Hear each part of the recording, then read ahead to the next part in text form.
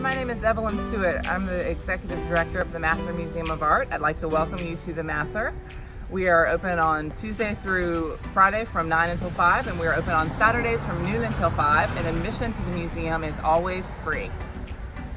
The Masur Museum is located in a home that was built in 1929 by the Slagles. The home was then acquired in the 1930s by the Masur family. The Masur raised their three children in the home, and in 1963, their children donated the home to the city of Monroe to become a fine art museum. So we have been a museum since 1963. Hi, I'm Lindsay Carney. I'm the curator of collections and exhibitions here at the Masur Museum, and welcome to our current exhibition called Synthesis, Art and Nature in the Post-Digital Age.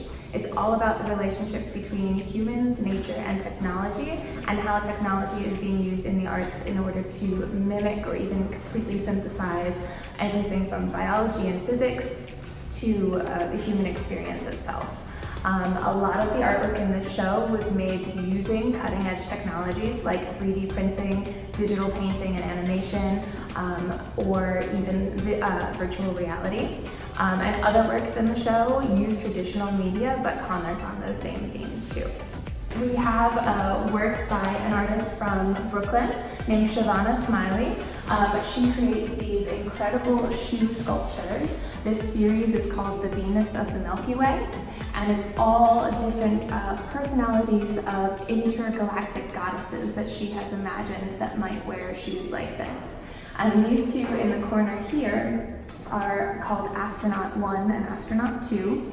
Um, the one on the right, Astronaut 1, is the guardian of Earth. She is our, our moon goddess protecting Earth. And Astronaut 2, uh, with sort of space helmet design, um, is the explorer who goes out from Earth to explore new worlds. But they each have personalities and um, are absolutely fabulous, and she actually wears them too. They can be worn. So here at the Masur Museum, we actually change our exhibitions four times a year, and we can show anywhere from six to eight, or sometimes even more than that, exhibitions every year. Um, we tend to focus on modern and contemporary art, especially from artists who live and work in the South. Um, but we show a little bit of everything, from historical styles from the 19th century up through um, styles from today. Uh, this gallery is full of work by two artists um, both of whom are based in New York. Uh, Sophie Kahn takes uh, 3D laser scans of the human body, which is apparently very difficult to do because the human body is never perfectly still. So every scan has glitches in it. And then she uses them to generate beautiful architectural prints and then eventually 3D prints um, those digital renderings into sculptures.